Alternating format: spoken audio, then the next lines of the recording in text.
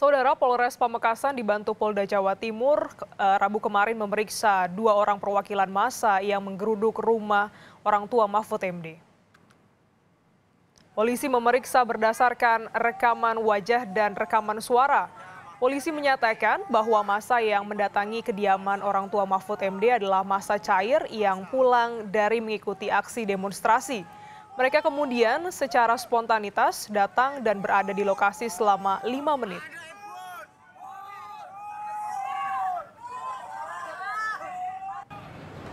ini dalam proses penyelidikan dan pemeriksaan ya terhadap kedua orang yang ada di lokasi ya ini sedang kita dalami untuk berikutnya kita masih menunggu ya dari hasil penyidik untuk proses pendalaman ini jadi memang sifatnya spontan, namun kita sesalkan ya karena di situ adalah kediaman ibunda Bapak Mahfud dan saat itu sedang istirahat.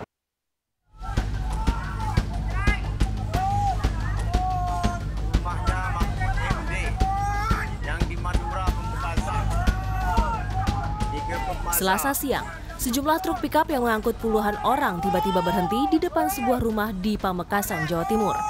Makian dan teriakan pun lantang disuarakan massa mereka menuntut agar Menko Polhukam Mahfud MD tidak membui pimpinan FPI Rizik Syihab.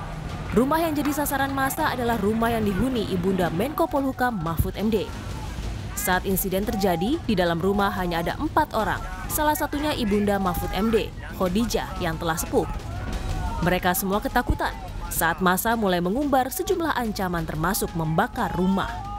Atas insiden itu, keluarga Mahfud MD meminta polisi menyelidiki dan mengungkap provokator aksi. Aparat ya sebenarnya bisa hano ya supaya tidak terulang lagi ya bisa jadi diselidiki diselidiki siapa yang menjadi aktor atau misalnya e, memprovokasi ya karena tindakan itu kan tidak etik tidak etis kan Kenapa? Karena ini kan rumah diisi orang tua, ya perempuan semua kan tidak pada tempatnya kalau menyampaikan aspirasi di rumah ini. Untuk mengantisipasi kembali datangnya masa, TNI Polri mengerahkan personelnya untuk mengamankan rumah orang tua Menko Polhukam Mahfud MD di Pamekasan, Jawa Timur.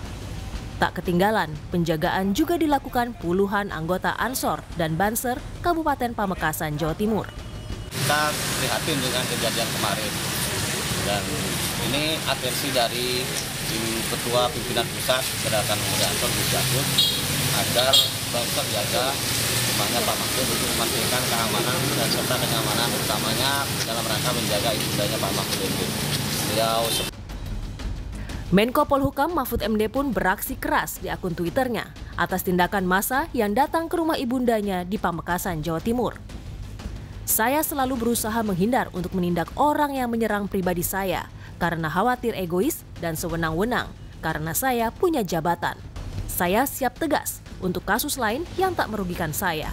Tapi kali ini mereka mengganggu ibu saya, bukan mengganggu Menko Polhukam. Begitu isi cuitannya di Twitter. Mahfud berhak marah atas insiden penggerudukan rumah sang ibunda di Pamekasan, Jawa Timur. Selain mengeluarkan kata-kata ancaman, tindakan massa yang menyasar rumah ibunda Mahfud MD jelas salah sasaran. Ketidaksetujuan seharusnya disampaikan langsung ke Mahfud MD sebagai seorang pejabat publik. Tim Liputan Kompas TV